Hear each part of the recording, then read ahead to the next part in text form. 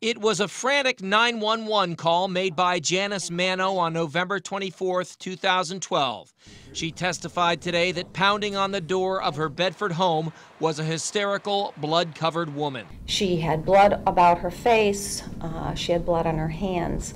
Uh, the orbit or the area around her left eye was swollen so badly that I could not see the eyeball. Prosecutors say these injuries were inflicted by Charles Normil.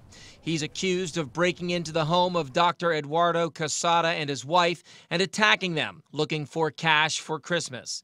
He faces 15 indictments that include attempted murder. She was just, uh, just stunned like a deer in headlights. Dr. Philip Mano told the jury today that he talked with the woman as police arrived. I looked at her again. She says was a large black man. And, um, and then the next thing she said, I think they killed my husband. Dr. Quesada survived the attack, suffering 20 wounds to his head with a screwdriver. Defense lawyers say Normil is innocent and that no physical evidence ties him to the scene.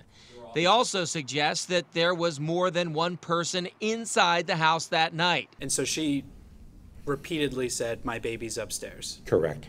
Um, and she also said more than once, They are killing my husband. Correct. Testimony resumes tomorrow morning. In Manchester, Andy Hirschberger, WMUR News 9.